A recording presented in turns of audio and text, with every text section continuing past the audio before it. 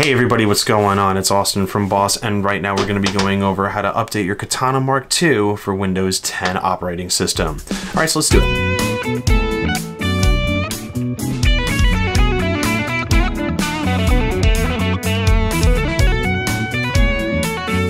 And all right, so first what we wanna do, we wanna go directly into the website and go ahead and download the firmware. Click into your web browser, boss.info. Uh, I like to go into the search bar and just find the amp. I'm doing this on a 100 watt katana, but you can basically type in your katana model and it'll go right to it. All right, scroll down to the downloads tab. So this process will be exactly the same for all other future system program updates. Click I agree and download the file here.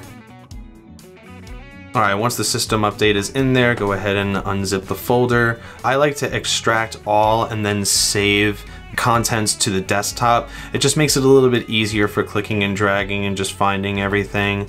Okay, so now we're into the system program update. So we're gonna go ahead, open this up. So you want to first get your katana into update mode. To do this, you want to press the channel 1 button and the panel button while you simultaneously turn on the power. You should see a series of blinking lights and that'll indicate that the katana is ready for update. So then after that, you want to go ahead and plug your katana into your uh, computer. You should be able to see the katana now as a thumb drive and we're going to go ahead and click and drag this into Boss Katana Mark II flash drive. I always like to basically eject any sort of device before removing it from the computer. Makes it safe to remove. Go ahead and unplug it. And now going back to the katana, you basically press the blinking panel button. After you press the panel button, you should see a series of blinking lights. This is going to indicate to you that the update process is going through.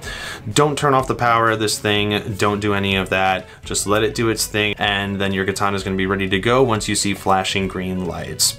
All right, and that's pretty much it on how to update your Katana Mark II for Windows 10. Again, my name is Austin from Boss, uh, bidding you a fond farewell. All right, see ya.